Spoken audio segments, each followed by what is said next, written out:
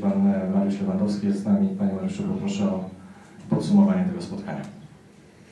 Przede wszystkim gratuluję Koronie awansu do półfinału Pucharu Polski. Em, Zaczęliśmy troszeczkę nerwowo to spotkanie, co dało się odczuć i widzieć. e, Straciliśmy bramkę ze stałego fragmentu gry. Później zaczęliśmy grać lepiej, kontrolować troszeczkę piłkę, przegrywać z jednej strony na drugą.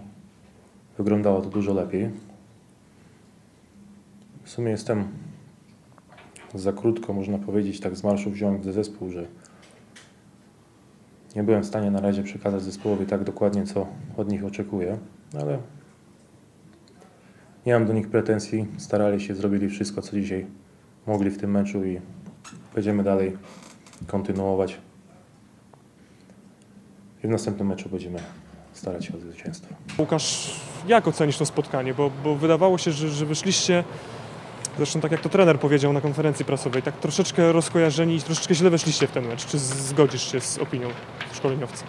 Mm, Na pewno tak, na pewno y, weszliśmy w to spotkanie y, źle, troszeczkę za bardzo, być może zmotywowani, zbyt y, duża chęć pokazania y, się i, i gdzieś zapomnieliśmy o, o, o koncentracji, bo myślę, że ta pierwsza bramka no, mogliśmy spokojnie y, zapobiec, bo, bo stały fragment, y, szkoda, że, że takie bramki tracimy. Właśnie sam wspomniałeś o tej bramce ze stałego fragmentu. Opowiedz, jak to wyglądało z Twojej perspektywy, bo niektóre, niektórzy zapisują tą bramkę Bartkowi Romaniakowi, niektórzy zap- z- zapisują ją Tobie jako bramkę samobójczą. Jak to wyglądało? Było takie zamieszanie, że, że z trybun trudno było, trudno było dojrzeć, co tam się um, ogólnie wydarzyło w tej ósmej minucie. Miałem krycie Bartka i, i miałem, go, miałem go pilnować. Piłka została strącona z, z krótkiego słupka i nie zdążyłem zareagować. Y, Piłka odbiła się od Bartka i, wpadła do siatki, Y, więc, więc y, z mojej perspektywy tak to wyglądało. Czy zgodzisz się, że to spotkanie no nie, nie, nie, nie trzeba było go przegrać, może w ten sposób, bo, bo okazji do strzelenia bramki było dzisiaj, no wydaje się, naprawdę sporo z naszej strony. Na pewno tak, parę sytuacji mieliśmy i szkoda, że zabrakło gdzieś y, skuteczności. Y, Myślę, że też troszeczkę szczęścia, bo i poprzeczka i, i, i, i słupek, więc, y, więc gdzieś nam y, ten fart nie sprzyja, ale mam nadzieję, że to się odwróci, bo, bo jak będziemy te sytuacje stwarzać, to, to zaczniemy je też wykorzystywać. Dawid Pakulski z nami. Dawid, przede wszystkim gratulacje debiutu z jednej strony, ale z drugiej strony no chyba nie możesz być zadowolony z tego, jak zakończył się ten mecz. Wolałbyś na pewno zadebiutować w spotkaniu, które kończylibyśmy po prostu w lepszych humorach. No na pewno tak, dziękuję bardzo. Na pewno chciałoby się wygrać, ale też nie ma, nie ma co się oglądać za siebie. Zaraz jest kolejny mecz i cała drużyna da się wszystko i na pewno do końca będziemy walczyć o zwycięstwo.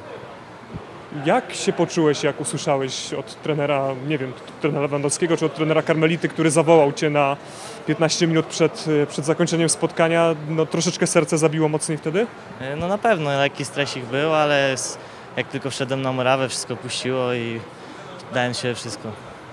Jakie słowa powiedział do ciebie trener Lewandowski przed wejściem na boisko? Chwilkę tam rozmawialiście, parę słów zdążyliście zamienić. Czego od ciebie, oczekiwał szkoleniowiec KGHM Zagłębia Lubin i na czym miały polegać twoje zadania? E, Oczywiście rozmawialiśmy. No, powiedział, że odważnie, żebym się nie bał, że mam brać grę na siebie odważnie jeden na jeden. No i żeby dać jakoś tam jakiś bodziec z przodu. Wiem, że może nie będziesz chciał oceniać tego meczu z perspektywy ławki rezerwowej, natomiast i tak zapytam Cię, jak, jak to wyglądało w, w Twoim y, odczuciu. No, bo 75 minut spędziłeś poza boiskiem, 15 minut spędziłeś na boisku. Ja wiem, że piłkarze nie lubią tego pytania, ale no, trzeba zadać, czego, czego dzisiaj zabrakło w tym meczu. Czy to zabrakło skuteczności, czy zabrakło może czegoś więcej w Twojej ocenie?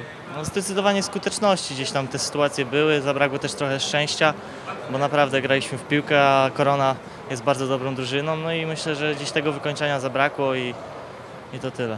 Powiedz, w czym upatrujecie takiej szansy, że, no, że w meczu z Termaliką już, już będzie lepiej? Jak teraz będziecie się przygotowywać i motywować do tego spotkania i jak y, zachęcicie kibiców do tego, żeby pojawili się, żeby pojawili się w sobotę na Stadionie Zagłębia?